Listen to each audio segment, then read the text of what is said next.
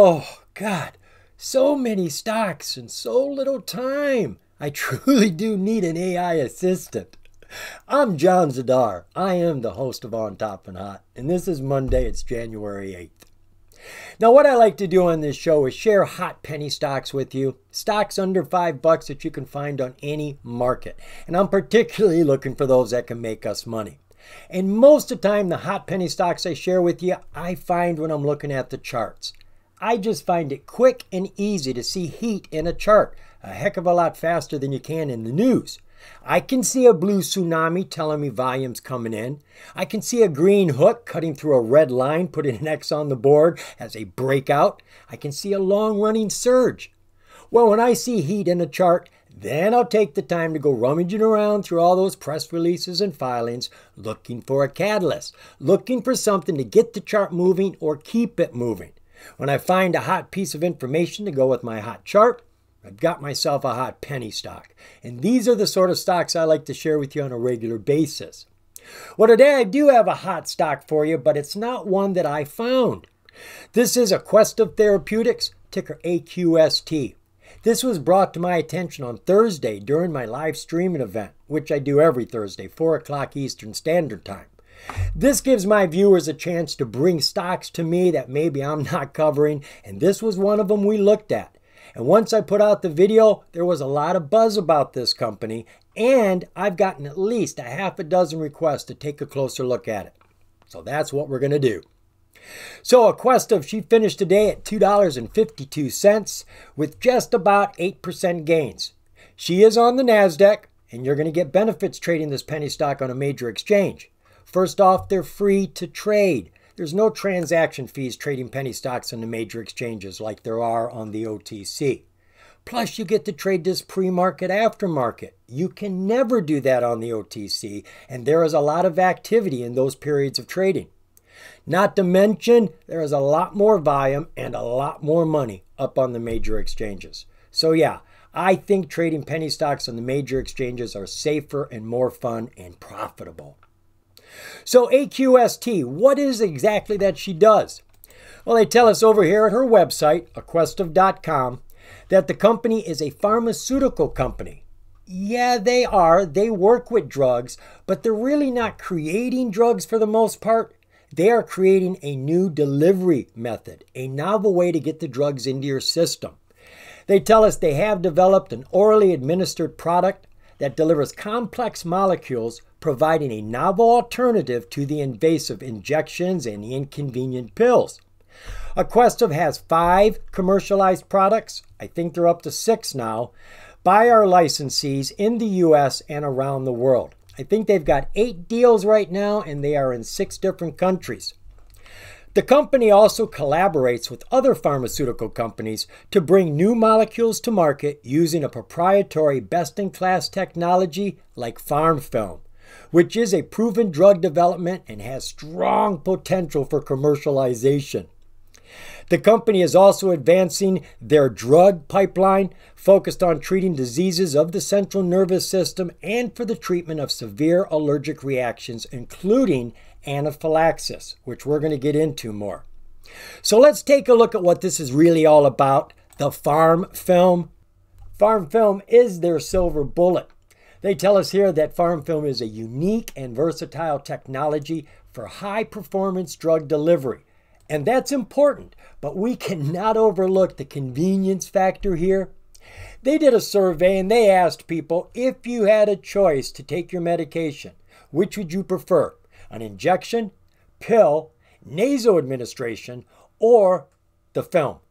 Yes, overwhelmingly most chose the film. I would. I have an aversion to taking pills. They get stuck now. When I was younger, I could take a handful of them. Now I can barely get one down. So I would love the film. But more importantly, how well does it work? Is the drug getting into the system fast? Obviously, the fastest way is through an injection to put the drug directly into the body or into the bloodstream. Second, surprisingly, is inhalation, where the drug is attached to your oxygen and then goes into your bloodstream. And the third one is absorbing it through soft tissue like your mouth. And that's where they use their film. Particularly, they would like to see it either go on the side of your cheek or underneath your tongue, but it'll work on top of the tongue, no problem. Because this does not go through your digestive tract, it's not going through any metabolic changes. It is just being absorbed right through the skin into your bloodstream. And it works just as well, if not better, than the original drugs. Now, the company was telling us that they are working with a film and drug combination for anaphylaxis. This is a serious allergic reaction. It can kill you, folks. Doesn't matter if you're allergic to a food or an insect bite. When it hits, it hits hard and fast. You break out in hives. You start to swell. You can't swallow. You stop breathing. You pass out. You could literally die from this. Well, what they have is epinephrine, the EpiPen. This is a pre dosed, factory made syringe that you carry around when this happens, you just stab yourself in some fleshy spot and you get your drug. Well, here's the problem with that. First off, it is huge, right? It's very expensive. They cost hundreds of dollars. And being the size that it is, they discovered in that survey that of the people that have prescriptions for the EpiPen, less than 50% actually have the pen with them when they need it. And worse yet, of all the people that should have prescriptions, more than 60% do not. So the market is wide open. And I do believe the problem is cost prohibitive. I mean, I think these pens are just too bloody expensive. Forget the fact they're so big, they're just so expensive. I got to imagine, not that I know for fact, but I got to imagine that these film strips are a lot less expensive than they are. Now, the company tells us they've got other drugs in the pipeline, so let's go take a look at those. Now, at first glance, it appears we've got nine drugs in the pipeline. But we don't, do we? Six of them are out of the pipeline, on the market being commercialized. They've already made eight deals to sell these six drugs in six different countries around the world, including the United States. They've got another drug here that is just about ready to be approved and hit in the market. This is Libervant it's working with the molecule drug diazepam, which is real critical for people who have epilepsy because this fights their seizures, whether they be breakthrough seizures or cluster seizures. And as I said, they are at the end of their FDA approval process and should be hitting the market here soon. And the last drug we got here is Anaphylm. This is the epinephrine replacement for the EpiPen. Now, they've got another drug just like this one, but it's going for a different indicator, a different problem with allergies. They don't tell us exactly what. But here they tell us they are in phase two for the Anaphylm. That's not true. We just got news out that they have just entered into phase three. Now, what exactly is this drug? Well, they tell us that Anaphylm is a polymer matrix based epinephrine prodrug candidate. A pro drug is great, folks. This is a drug that has no side effects whatsoever. Once you use the drug, if there's anything left over in your system, it just dispels it out of your body. The product is smaller than a postage stamp and weighs far less than an ounce and begins to dissolve on contact. No water necessary, you don't even need to swallow. The packaging for the Anaphylm is thinner and smaller than an average credit card and can be carried in a pocket. It can be carried in your wallet, guys. No excuse for not having this. And the packaging is designed to be weatherproof. No sunlight's going to get in there, no water. So this is a hot drug, folks. I mean that because people are paying hundreds of dollars for this giant pen that they normally don't have with them. This is going to be a lot cheaper, easy to carry, and easy to take. No pain involved, right? And when you think about it, when a person does go into anaphylactic shock, they will pass out in a lot of cases. They're not going to be able to help. And if you don't have a pen, don't worry. All you got to do is open their mouth and put that film in there, and you've done your job and you're helping them. All right, so now that we've got an overall view of what the company's about, let's go get some information on the stock. So we're back here at my storehouse of information, the OTCMarkets.com website.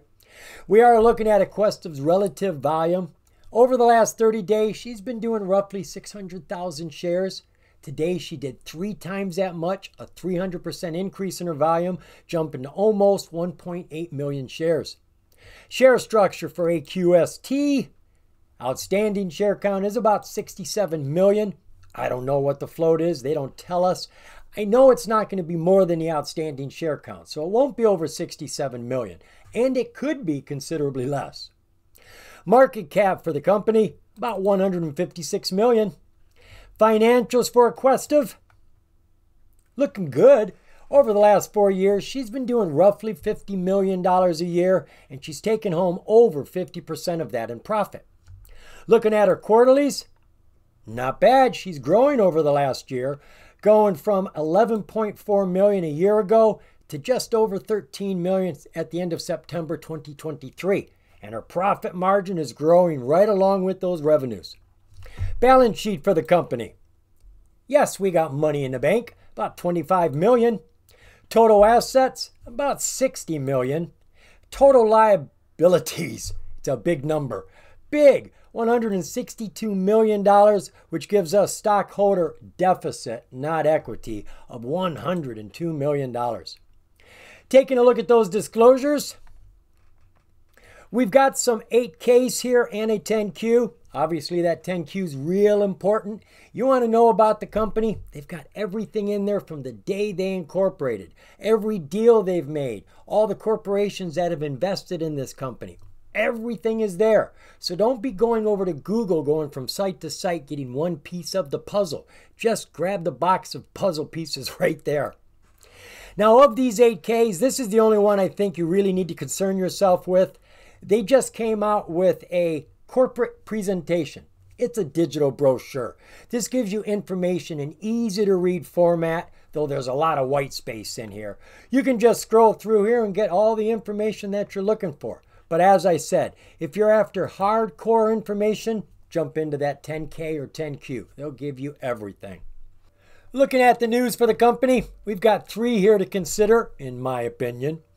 One all the way back to beginning of November where the company completed a $45 million debt refinancing, which is great. They were able to get it refinanced, pushed off, took all that pressure off of them. But what it really did was save them $25 million over the next two years. That's excellent. Then we've got two pieces of news here about that drug, Anaphylm. It was halfway through November that they presented positive data for it, and here at the beginning of December, they entered into their phase three trial. They tell us that Aquestive Therapeutics today announced that the first patient has been dosed in its initial phase three pivotal pharmacokinetic clinical study of Anaphylm, the epinephrine sublingual film. Anaphylm is the company's orally administered epinephrine prodrug product candidate under development for the treatment of severe, life threatening allergic reactions, including anaphylaxis. Now, this is going to be a two part phase three study. They are going to do the first part on single dose, the one you get initially, and then the follow up dose, one that you get 30 minutes after you've had the first dose. So they're going to have two studies on that. First study, they're going to bring in 36 subjects. The second study, they're going to bring in 64 subjects. So that's where we're at, folks. We have this moving into phase three. I don't know how long this phase three is going to be. I don't know if they are pitting their drug up against a lot of competitors who are using film or they're just competing up against the regular old drugs. Haven't got a clue, but it has started. Let's go take a look at the chart now for this company. Well, I'm ready to chart this bad boy on my free trading platform, Think or Swim. This is AQST, Aquestive Therapeutics, and we are looking at a six month, four hour view. It was a full six months ago in April. We had our low bubble of $1.15 when she was way above the 200. She took off, had a strong climb up to $2.69, which she hit in May, and then a lot of volatility came into this chart. We had a big drop through the 200, a big surge through the 200, and then a long drawn out fall back up underneath the 200. She had a strong rip here showing that she wanted to climb again, fell down to the bottom of this channel, and from there she has changed her trend. She is working up this channel, getting out of it once, and then coming all the way back down to the floor. And it was right back here when we looked at it on Thursday. She was at about two bucks and she has been climbing ever since, floating on her nine day SMA, getting up to the top of this channel. Every single one of our SMAs have now turned and are starting to climb, including our 200. Volume, as you can see, is growing right now.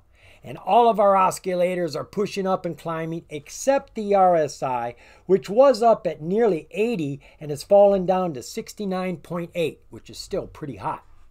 Looking at our 20 day, one hour view. So we were back here in the middle of this channel, fell right down to the bottom of the channel and bounced off of it. She was just going sideways around her 50 day until she approached the 200. That was it. It was flat and she broke out. Pushed over the 200 through the center of the channel, outside of the channel, and back up underneath it on top of her 9. Looking good, folks. Our oscillators. Our PPO is strong, but it has had a little bit of pullback here, same as our MACD, and our RSI is cooling off even more. She's down to 59 right now. Looking at our five day, five minute chart. Now that's looking good, isn't it? Here's our channel, these three lines here. We're down at the bottom of the channel, almost tapping it here at $1.95. She's hanging on to her 200, bounced off that 200 a couple times and took off on her 50. And she has launched herself. Now she's gotten up to the top of the channel and she's fighting. She is trying to get through there. She's been through it a couple times. She's banging her head on it right now.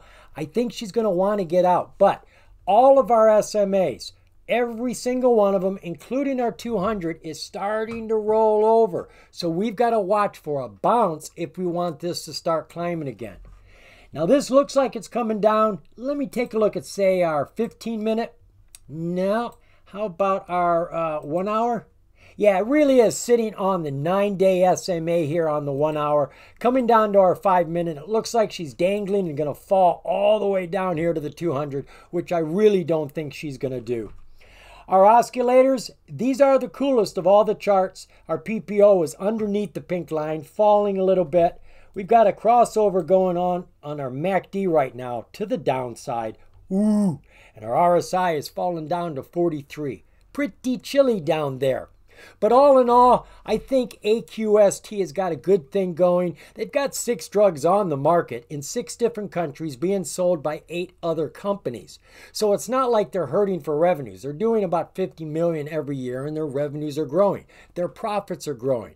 Problem is, we are in deficit right now, so we need to see some assets come into the pictures, even if they are revenues. AQST, I covered it for you folks because you asked for it. Now go put it on your watch list. And of course, folks, I didn't cover everything. There is more information to know, probably in that 10Q. So go do your own due diligence considering that you're investing your own money. Remember, folks, the more you know, the more you're going to grow. See ya.